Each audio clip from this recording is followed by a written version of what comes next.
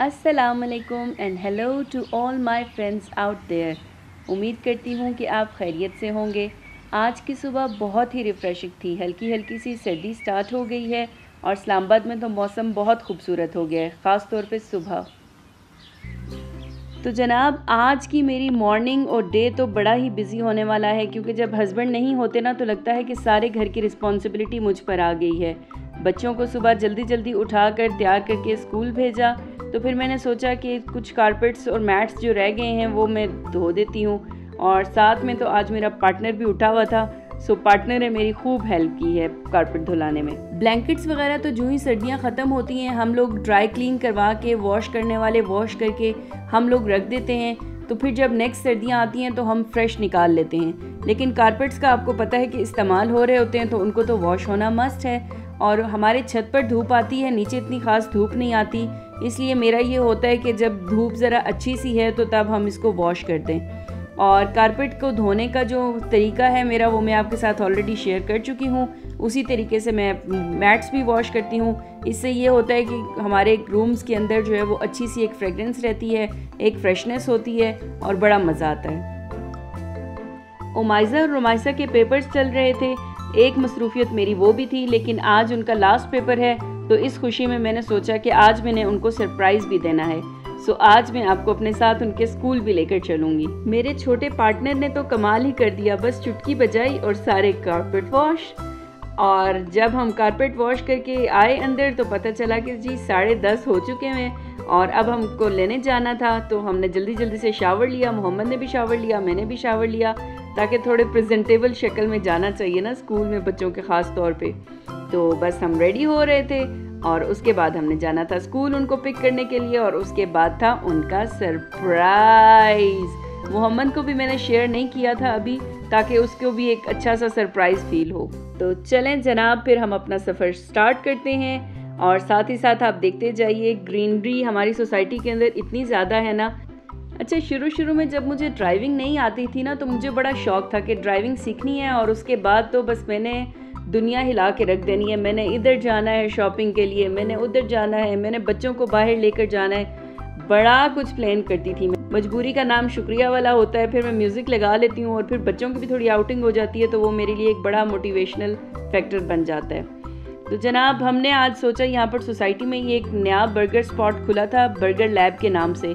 इसकी शायद और ब्रांचेस भी हैं। कराची में मैंने सुना है, हैं, लेकिन मतलब मैंने फ़र्स्ट टाइम ही ट्राई किया है और यहाँ पर खुली तो हमने कहा कि चलो ट्राई करते हैं। और बच्चों को तो लगता था जैसे उनकी ईद हो गई है। बच्चों ने खूब इन्जॉय किया, हमने ऑर्डर किया burger fries as usual and drink और बाहर यहाँ से देखें तो कितना प्यारा लग रहा है क्योंकि ये थोड़ा हाइटेड है। मॉल के अंदर था तो नीचे बहुत अच्छा लग रहा था। एक तो धूप थी बाहर रोशन रोशन सारा कुछ था और अंदर एसी चल रहा था इस वजह से बाहर की गर्मी फील नहीं हो रही थी। अच्छा बर्गर लैब्स के बर्गर जो हैं वो आ, उनकी प्राइस रेंज तो ठीक था मतलब बहुत हाई एंड नहीं था बहुत लो एंड नहीं था बट नॉर्मल थी प्राइसेस लेकिन टेस्ट वाइज गुड था। हमने जो चूज़ किया था दैट वाज डायनामाइट और उसका टेस्ट बच्चों को पसंद आया था अच्छा इन्जॉय किया था इन्होंने। अच्छा ऑर्डर मैंने सिर्फ़ बच्चों के लिए किया था, ख़ुद के लिए मैंने बर्गर ऑर्डर इसलिए नहीं किया क्योंकि मैं अपना वेट रिड्यूस करना चाह रही हूँ ऑल दो अभी हो नहीं रहा, लेकिन ये कि कोशिश मेरी जारी है पूरी और अवॉइड करती हूँ मैं जितना कर सकूँ, लेकिन ऑब्वियसली ड्रिंक तो मैं अवॉइड नहीं कर सकती, इस वजह से फिर मैंने ड्रिंक ले लिया था। और जाने से पहले मैं मशीन लगा गई थी, कपड़े डाल गई थी ऑटोमेटिक मशीन का ये फ़ायदा है कि जब आप घर पे ना भी हों तो कपड़े धुलाई हो रहे होते हैं। तो बस हम वापस आए तो तब तक मशीन वॉश कर चुकी थी ड्रेसेस को। तो मैंने बस उनको निकाल के फैला दिया हमारे बैक वाले सहन में। इतनी ज़्यादा धूप नहीं आती है, बस सुबह एक घंटा या डेढ़ घंटा धूप आती है, इसके अलावा धूप नहीं आती है।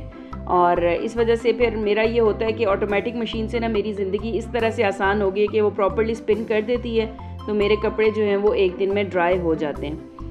जहर की नमाज़ का टाइम हो चुका था। हमने जल्दी से नमाज़ पढ़ी बच्चों ने भी और फिर मैंने भी अपने रूम में नमाज़ पढ़ ली और एक बड़ा रिफ़्रेशिंग सा वो हो जाता है जब आपने शावर लिया हुआ हो।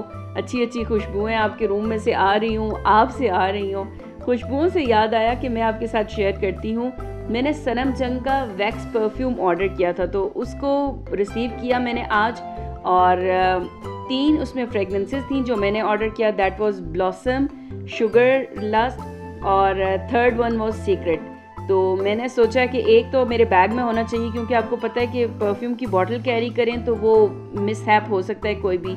लेकिन वैक्स का ये है कि आपके बैग में मिस होने के चांसेस कम हैं और एक तो ये कॉम्पैक्ट सा है, आपके बैग में इजीली आ जाता है और आप इसको अप्लाई कर सकते हैं रीटच कर सकते हैं इजीली अच्छा इसमें जो मेरी फेवरेट थी ना, तीनों में सीक्रेट थी। सीक्रेट वाली मुझे बहुत अच्छी लगी है और साथ में ब्लॉसम भी अच्छा था। ब्लॉसम को मैं अपने बैग में रखूँगी।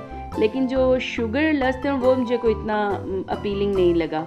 लेकिन यह है कि वो भी एक अच्छी फ्रेगनेंस है।